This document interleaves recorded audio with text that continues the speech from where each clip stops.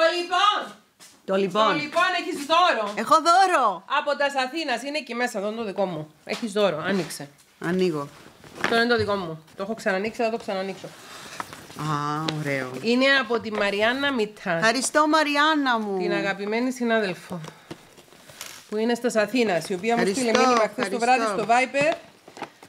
Α, Κοίτα, κοίτα, κοίτα, κοίτα, κοίτα, κοίτα.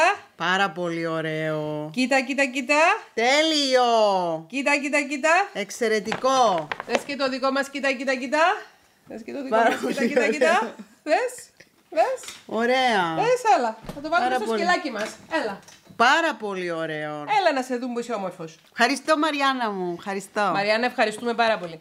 Μου έστειλε μήνυμα χθε το βράδυ η Μαριάννα να είσαι καλά. Μου λέει παρακολουθώ τον αρκισιστή γυναικολόγο, ένα βίντεο που ανεβάσαμε πρόσφατα. Τον αρχισιστή γυναικολόγο. Πρέπει να το δεις. Θα στο στείλω να το δεις όταν Καμιά θα άλλη φεύγεις. ειδικότητα να αρχισιστή θα βάλεις. Ό,τι έχει ο καθένας, ρε κουμπάρε. Ξέρω την αρκιστή θέλεις να βάλω, αλλά δεν βάζω.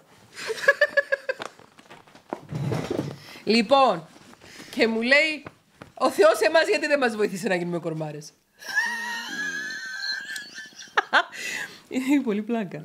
Είναι ένας τύπος γυναικολόγος, ο οποίος έβγαινε με μια κοπέλα και της έλεγε Κοίτα, κοίτα, ο Θεός με βοήθησε να γίνω κορμάρα. Α, Σοβαρά. Σοβαρά. Ναι, ναι, ναι. υπάρχει αυτός όντως; Υπήρχε. Υπήρχε. Ζει Τέλος ανάμεσά πάντων. μας. Ζούσε, ξέρω εγώ, δεν ξέρω. Έχει καιρό, έχει καιρό που γίνει ένα βίντεο παλιό που το έχουμε κάνει revamp. Τώρα εμείς Α, έχουμε βρει αυτό το μάλιστα. κόλπο και φτιάχνουμε τον ήχο. Ναι, φτιάχνουμε τον ήχο και ξανανεβάζουμε παλιά βίντεο και τα σχολιάζουμε και γελάμε. Ναι, ναι, ναι, και γελάμε.